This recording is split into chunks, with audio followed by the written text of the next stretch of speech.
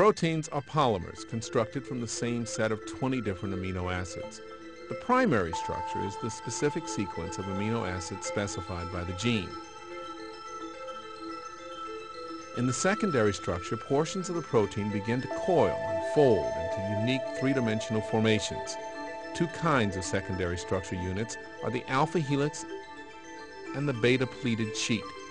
The folds and coils of the protein are the result of hydrogen bonds that occur at regular intervals. The tertiary structure is formed by interactions between side chains of various amino acids. At this stage, some proteins are complete. Other proteins incorporate multiple polypeptide subunits, creating what is known as the quaternary structure.